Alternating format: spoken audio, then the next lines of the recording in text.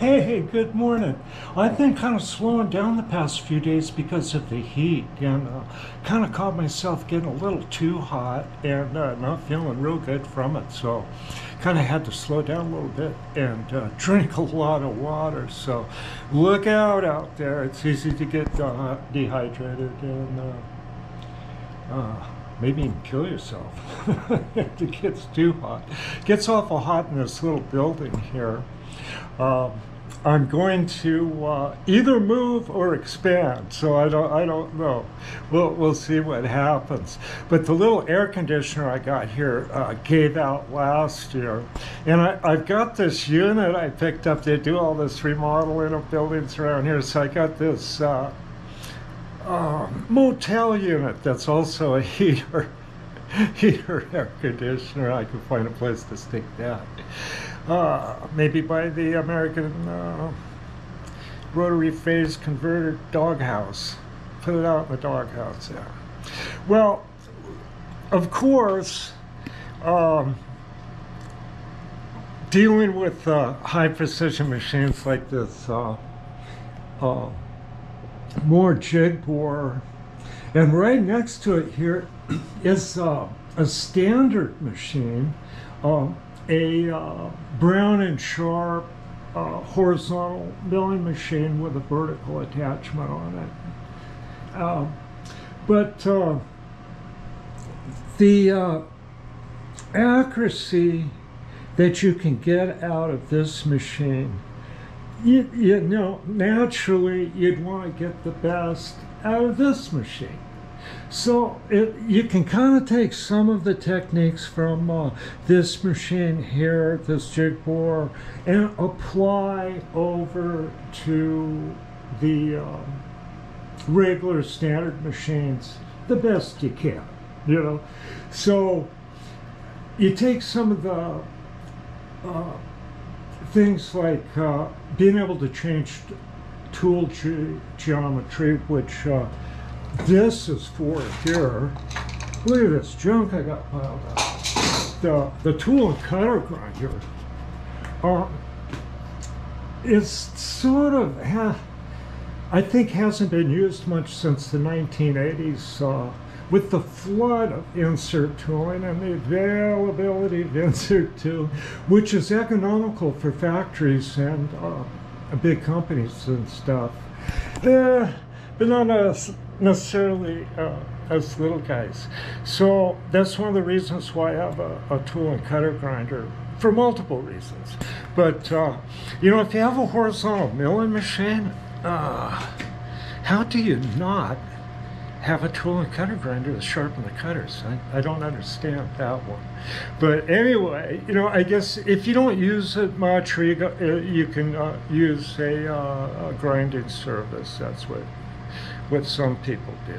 But, you know, old Toro sawmills and tool and cutter grinders are kind of uh, on the outs, you know, when you uh, have all this disposable tooling.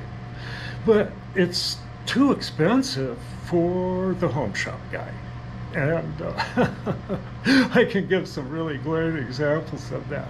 So, and we can get over to the lathe here. Now, this lathe here uh, like the jig bore, this toolmaker slave here marked MWE, um, is uh, designed with the parameters of the highest precision. And those parameters were actually uh, secret, sort of, amongst uh, the elite uh, toolmakers, I suppose, and other people, and, and all that. But it was actually uh, printed in the Kennametal Romicron boring head manual. It's a boring head system, finely adjustable, but with expensive inserts. But it uh, it describes uh, the parameters that you need uh, to successfully do plus or minus one ten thousandths of an inch, let's say, making a chip with carbide. Okay, so you can take uh, the parameters in that uh, uh, manual. Now you're going to have to search that up yourself because it was online. I haven't lately been able to find it.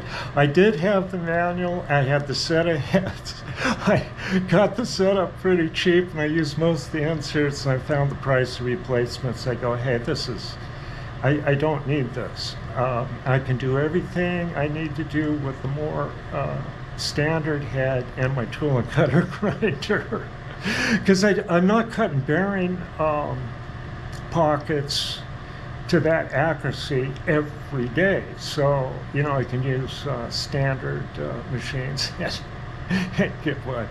I didn't have enough work to afford the inserts with the Kennametal uh, ground bullion head system.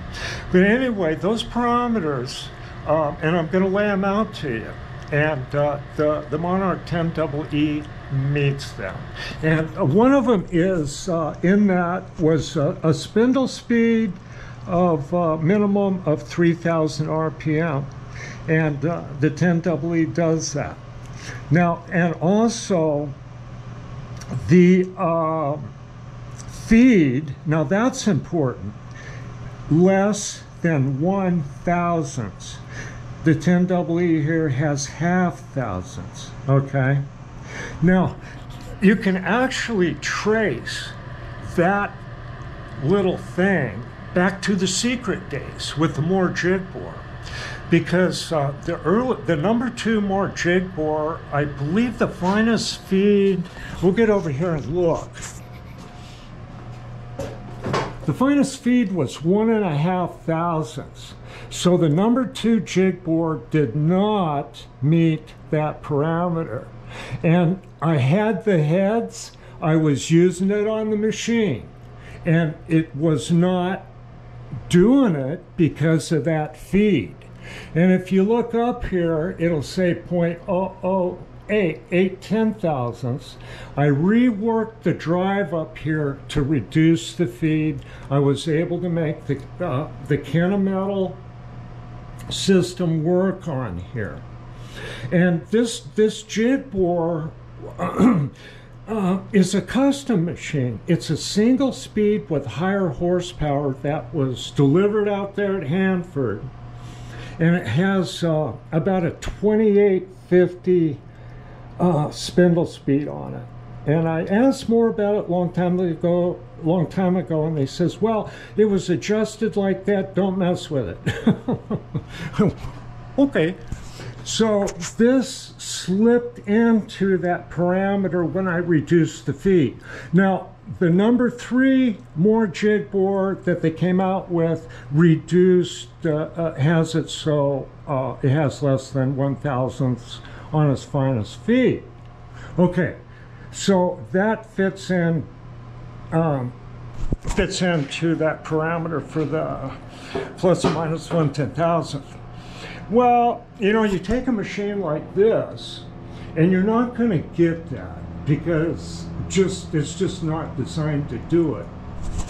But what you can do is the best you can and take some of this over to the standard machines. And this is one here I'm dealing with right here at this Axelson. So what I'm trying to do is take everything I've learned off this and come back over and apply it to this this classic here just to get the best I can out of it. You know, simple as that. And I'd like to take you along on that little trip and tell you uh, what some other people have done, you know, and what I'm going to do and what I can do. Okay, now, obviously, excuse me, still got smoky air here. Obviously, this doesn't have 3,000 RPM uh, minimum spindle speed. It has 1,127. And this is one of the uh, biggest problems here.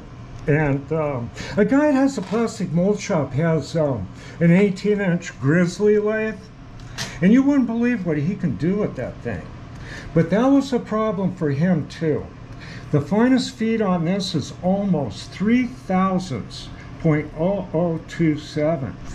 I mean, that's way more than half a thousand. okay, so what the plastic mold guy did on that Grizzly, and someone you know mentioned uh, doing electronic feed, and uh, a fellow sent me a, um, a photo um, of a Monarch 10EE that they put electronic feed on too. Um, that was uh, was an option. There's been a couple of those uh, showing up. Well, what the plastic mold guy did is on this end here, he rigged up, uh, I think it was uh, a tooth belt and uh, a servo power feed off of um, off of Bridgeport. Just put a pulley on there and hook that power feed on there, and then he's got electronic uh, variable uh, variable uh, feed, and uh, he was able to uh, tighten up the tolerances he needed there uh, considerably. His other machine he had there before he went full CNC. I mean, he, he, uh, he was making plastic molds before you know CNC was real com- common. He, plastic mold guys uh, do a lot of stuff, but uh, he got a uh, Hardinge. Um, a feeler, a copy of a Hardinge that worked out real good for him for uh, for stuff. But uh, so that's what he did to get that feed down. You know, then uh, adjust your tooling accordingly. Now, one of the one of the advantages that the plastic mold guy has, and I don't want to rub it in, is he had a tool and cutter grinder, and uh, man, you know, if I don't think that uh, I could do it nearly as much as I do without that machine. I just, it's really critical. But I don't want to discourage people that don't have one because uh, if you practice and take the time, you can hand grind tools, but it just takes a lot more time and uh, it's hard to be consistent. So anyway, I that's central to getting to mo- the most out of all the machines here is uh, the cutter grinder. It, it only makes sense to have uh, sharp tools to begin with. Okay, so now now I said that. Now there's this. What am I going to do?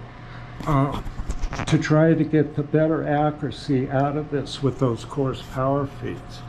Well, from years of practice and having bench plates without power feed, I got good at hand feeding. So, you know, some people are good at one thing, some people aren't. The plastic mold guy is not good at hand feeding. He had to have power feed. So I'll just hand feed it. I can do it smooth enough and good enough. Okay, now I have to adjust the tool angles, depth of cut, and experiment on uh, holding tolerances on this thing. And uh, I'm not getting very much tool def- uh, deflection because of the monster Timken bearings. But uh, I've been really spending a lot of time working on the adjustments on this thing, and it's taken uh, it's taken a bit of time on that. And it's sort of like uh, this lathe's pretty heavy, and the adjustments uh, you make them, and it's sort of like the results show up after using it quite a bit. And uh, that's another problem with these machines too, is uh, they really uh, don't work very good if they sit idle. And I noticed that with the jig bore and uh, particularly this Axelson and uh, that's one of the reasons why I, I, I, showed that belt set, because that happens right off. And so if you want to use the jig bore, and uh, they're, they're the ones that told me about that because I bought a new set of belts and they're expensive. I go, man, they're lumpy. You know, they sit for a day or two. Go, oh, yeah, yeah, you got to turn that spindle. He goes, you, you want to turn that spindle anyway because there's so much preload on the bearings, the, the balls can Brinell them to the races. So I got in the habit of rotating the spindles on my machines, including the saw blades on the on the table saw. but you got to have smooth running equipment to get close tolerances. Okay, you got to do every single little thing, and I'll just keep going through them. Okay, and uh, I'll I'll take you along. Uh, I'm trying to hit target uh, diameters on this axle, so now I'm having a bit of trouble.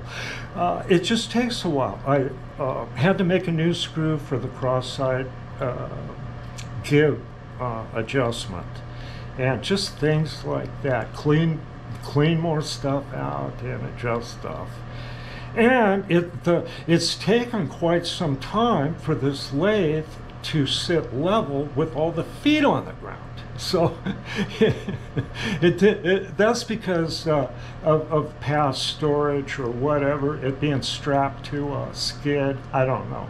But it's straightening itself out and showing good tolerances uh, on the parts. okay. Hey, I'm going to load this and hope you have a good day.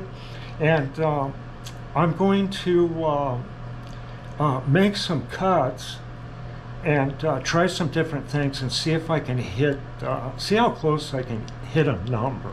And I'll turn the camera on for that, on this old axle. Okay.